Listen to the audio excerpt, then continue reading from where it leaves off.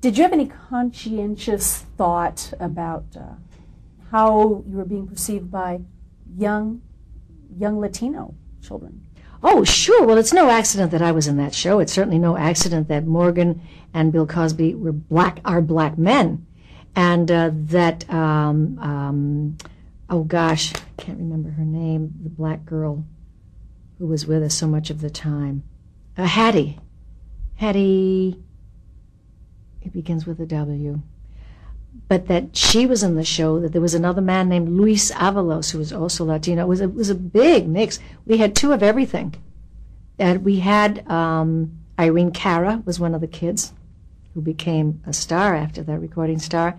And one of the girls in what we used to call the um, Short Circus, the kids, the kid band, uh, was June Angela, who did a lot of stuff on, on Broadway. She did The King and I, and she was Asian.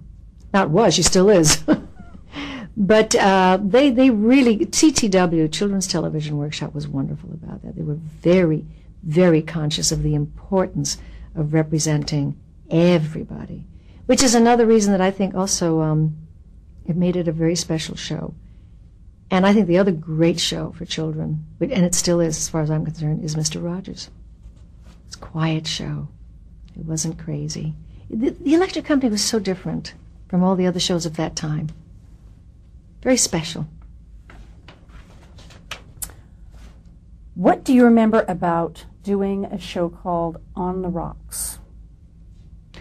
Oh, I just did a spinoff on that. On the Rocks was a, a prison comedy series with Jose Vega, who's wonderful. What a wonderful actor. There's one of those people who never got enough work just simply because he was Latino. Ah, it's heartbreaking. He's a superb actor. Um, and John Rich, the John Rich of the Ezio Pinza first time ever remote live show that I did, uh, direct was directing on the rocks.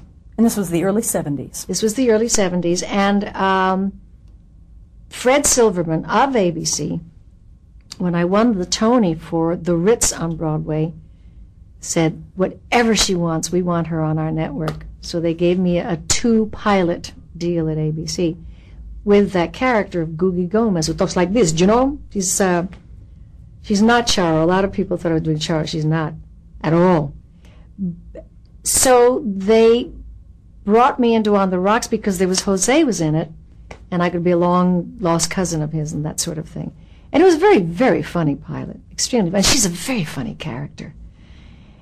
And the pilot was turned down. I'm trying to think of what it was because even though I was signed to ABC and Fred Silverman, no, it wasn't Fred Silverman. Fred Silverman did not want me, didn't want to sign me. The man who was running ABC at the time, and I can't remember his name, at that time wanted me and signed me. Fred Silverman was just not a fan. And we did the first pilot, and it was really funny. And they ran it after the Oscars that year. And it got huge ratings, and it got enormous attention. But he didn't pick us up for a series.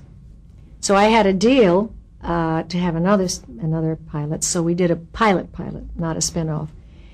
Another very very funny pilot, and he cut it. So that was that.